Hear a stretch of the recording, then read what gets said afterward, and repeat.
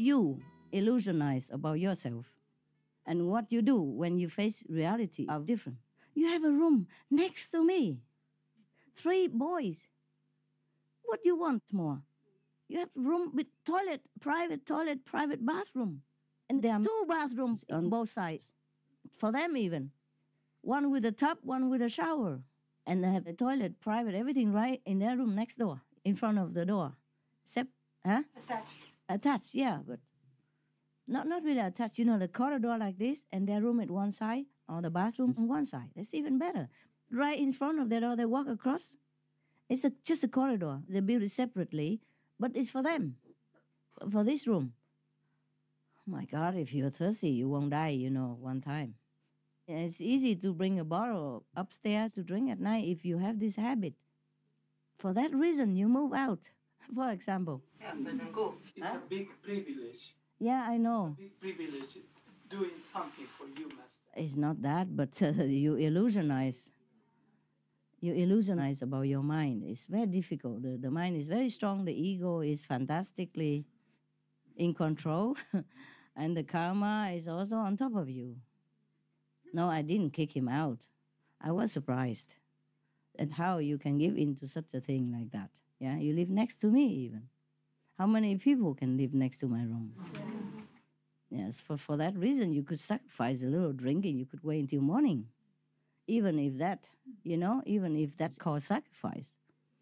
I say you should. Before that, even we always talk to each other. I Say whatever situation, we are happy, we are lucky because look at the African uh, refugees and other everywhere. They don't even have water. They have to walk ten kilometers, uh, or ten miles to get the water and a jug on top of their head, and then even then they might get robbed attacked and molested in between, in between the, the voyage, 10 kilometers for water, just for a jug of water, if they even have a jug to carry. You know, you see the Darfur and everything like that. You know all this, right? So whatever it is, we have the best. We have the best of luck already. They know all that and still complaining about cannot drink water at night because of the dogs. Because at night, you know, I open the door so the dogs don't always stay in my room. Whoever wants to stay in my room stays. Whoever likes to stress, you know, sometimes they like to go out in the corridor and sleep there. Why not? Yeah, it's cooler. Some dog like cooler, some dog like next to me. They're all free. The corridor is big, you know, bigger than my room even. I can fit all the 10 dogs in my room, but it's tight, you see? So I open the door, so whichever dog wants to go out can go out. And because of that, he doesn't want to uh, to go out in case the dog barks. But the dog won't bark because they know him. He won't bark. So what's the problem? I don't know. Just wants to have his own room because there are four rooms there. You know, so one person each room, more privacy. I asked you already, what do you want privacy for? To do what? To do something secret that people don't have to know? No secret, huh? Yeah. Because the house is big, of course, it's tempting, you know? It's tempting to go there, have your own room. Yeah, that will go with time. Now I give them that room anyway. But that person also had other problems, so he left. Also family problems all that. But not because of that. You know, he stayed long after the, the house problem. After that, I said, just stay here for a while, you know? A few more days, then we clean up the house inside out first, and then you can move. I feel safer that way because a long time nobody lived in a guardian house. They didn't have guardian, so they just put all kinds of things in there like a storage. You see what I mean?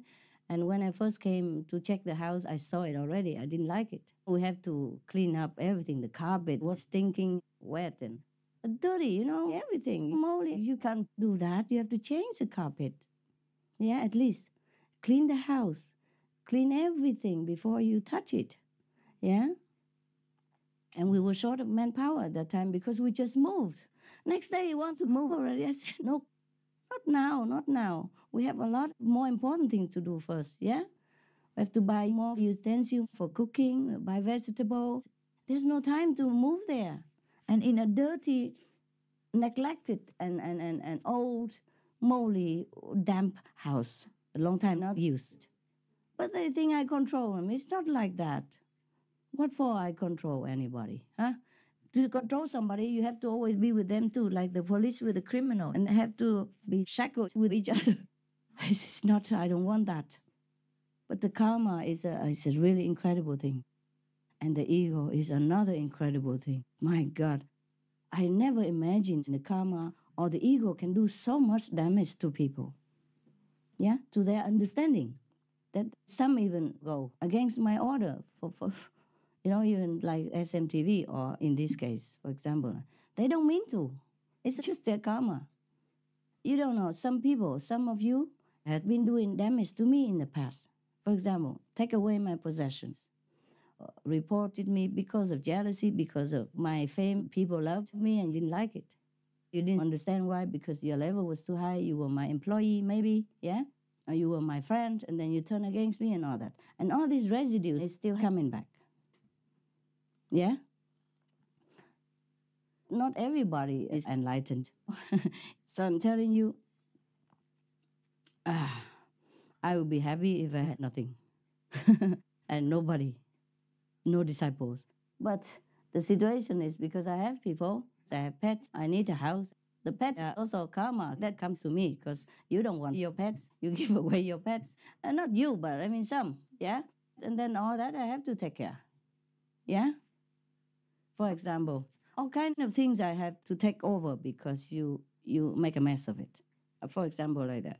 Now, some people who before, you know, excuse me, uh, like murder to me, for example, yeah, and even now they can stay in my house, but their residue is still very, very hurting. Anything they do sometimes unconsciously, it hurts because they vowed to come back after being in hell for a long time. They vowed to come back to redeem, to, to help me, or to do something to redeem themselves. But they cannot help the, the force of karma, sometimes very strong the destined karma for this life. They struggle with it. And as I say to you, the residue comes flying to them and clings onto them, latches onto them, and makes trouble also. Yeah?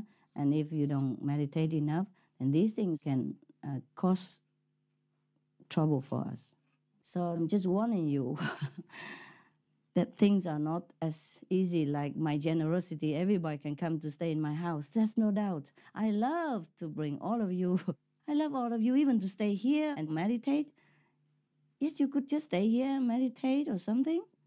If you don't have any financial problems, you could stay here, you put money together and you meditate, and it's also fine.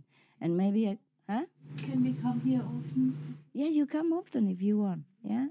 You meditate, okay? But why spend so much money coming and going? You meditate in your own center, also fine. Only when I'm here you come. Or if you want to uh, permanently stay because you're Austrian and you don't have anything else to do and you want to meditate or you want to stay here to do translation or something, you know, quietly, then it's also possible. Yeah? Uh, if, if you can afford just one meal, two, three meals a day, that's fine. You understand me? And no burden to anybody. It's okay, huh? Yeah. Because I'm not here, you know? So I don't know who take care of you. So you have to take care of yourself like that. Okay? Yeah. Uh, one thing. It's, it's, it's very terrible all these years. Uh, because uh, sometimes uh, people come to my house and of course I need some assistance, yeah? But uh, I never checked people, you know, so they come and bring so much trouble. And sometimes also physically harming me. But I don't want to say who's who, okay? So sometimes it's not that easy just to take somebody in. You know what I mean? Uh, from now on, I have to be more careful. yeah, it's so scary. You don't know that.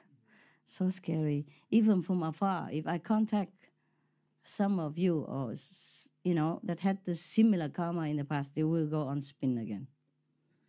It will touch again my physical, you know, being and make trouble for it, at least physically. And that's how I run around two days instead of two hours to come here. Because I wasn't careful enough. I thought I, I could uh, use some help. But help sometimes costs a lot. Not just two hours, but two days. It cost me a lot more money because I had to pay so much extra.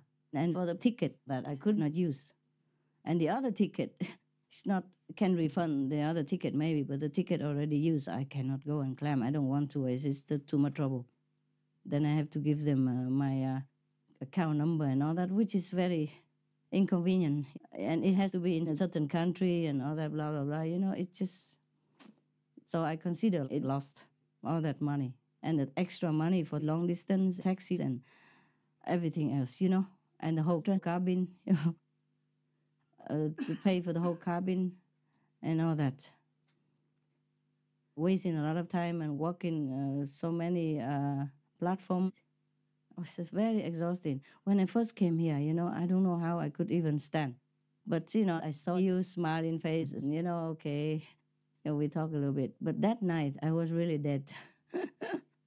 After uh, I finished talking with you, I was dead. And I revived myself the next day, you know, uh, at noon. but when I came back, uh, I still could not sleep even. Something made me turn around, turn around. I could not even meditate well because before that, I still had to take care of some other work, paperwork, yeah, um, information work. And then after that, I thought I was tired enough, I'd be dead. But then I turned around all night long. That's why in the morning I was dead. That's why you didn't see me until noon or something. Yeah. I feel a little ashamed, but I I was just dead. I didn't know anything anymore. If I could have meditated, it would have been better. I couldn't. Something just turned me around, around, around, like uh, some pin under your chair or under your seat. You know what I mean? That kind of feeling. Very irritating. Yeah. And it should not happen like that to me, actually. Yeah. But sometimes the karma is so much, it makes you like that. Yeah. Uh, it's good like that, so I understand you also. Sometimes you could not meditate. I, that's why I always understand you. Yeah. Because it's also happened to me, even to me. Yeah. Because I take on so much. And this body, even though it's super, but it's uh, also like you, nah? like yours. Nah? Okay. It's very strong already. I'm amazed. I'm amazed at my little body, you know. I drive it relentlessly. With all kind of things that have been heaped onto it, you know. Even many operations, broken arm, pain everywhere. It's, just, it's really amazing. It's still here. Huh? Wonderful. I'm very thankful, yeah, to this vehicle, huh? Hmm.